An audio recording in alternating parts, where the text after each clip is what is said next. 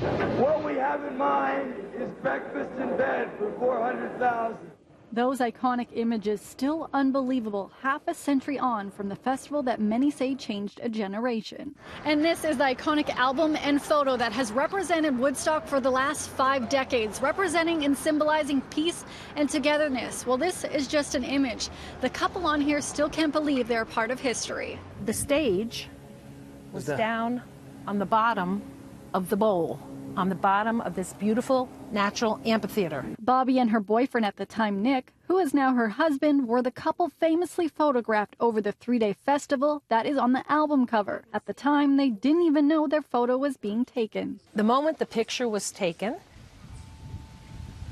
I have no idea. I do not remember it. I certainly remember the crowd around us. I remember the blanket.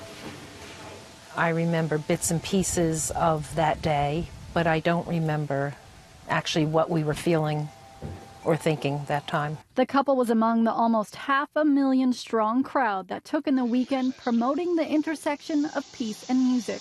Organizers had only anticipated about a tenth of that number. Linda Gibson also made the trip going with her friends from Toronto. So it, this was all what was happening, how we got there, and day two, conditions bad, bad, bad, bad. Linda kept a journal documenting her time at the concert in what seemed like a lifetime ago.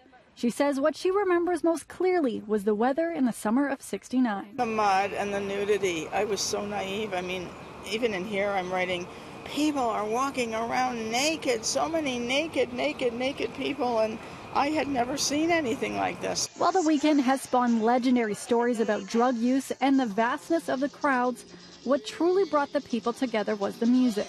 A lineup that to this day seems almost unbelievable on paper. From the now legendary Jimi Hendrix performance of the Star Spangled Banner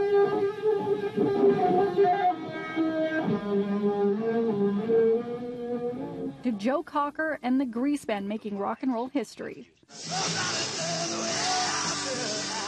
But what was it like to actually perform at the festival?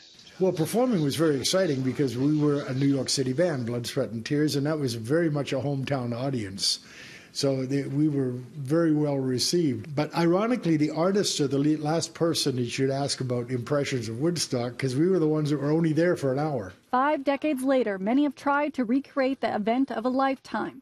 But David believes that it will never happen again and they should stop trying. My thoughts are I've refused to be involved in any of it. It's a, it's a scam. Know, it's promoters trying to make money off of a unique moment in history that will never, ever happen again. When I asked the festival attendees if they knew at the time that they were part of and witnessing history, for the most part, they said they had no idea the significance of the event until years later when the movie was released commemorating the festival. Lindsay Dunn, City News, Toronto.